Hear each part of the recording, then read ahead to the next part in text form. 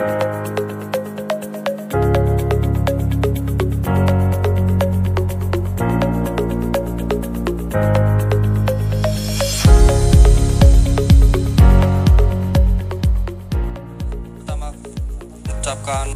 puji syukur alhamdulillah.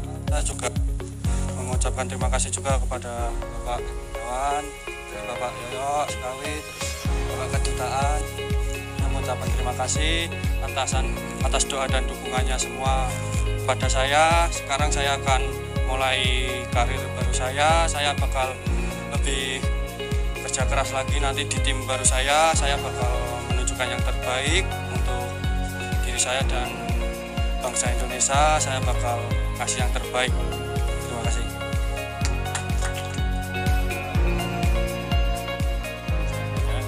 tapi kami dari keluarga besar PSI Asmara mengucapkan terima kasih atas dukungan dari warga bangsa Indonesia juga dan tidak lupa tentu mohon lapor bahwa keberhasilan kami membina Pratamaan Pratama Arhan ini tidak lepas dari program yang dicanangkan oleh Ketua Umum.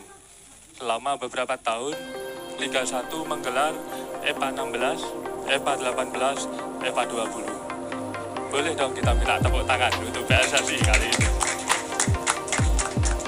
Program itu bukan program yang main-main, itu program yang benar-benar menghasilkan.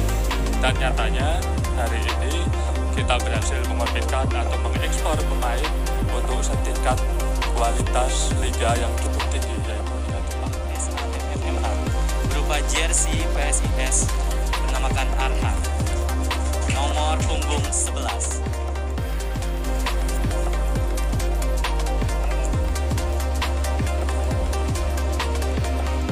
selanjutnya penyerahan jersey kedua dari Pratama Arhan untuk Bapak Ketua Umum PSSI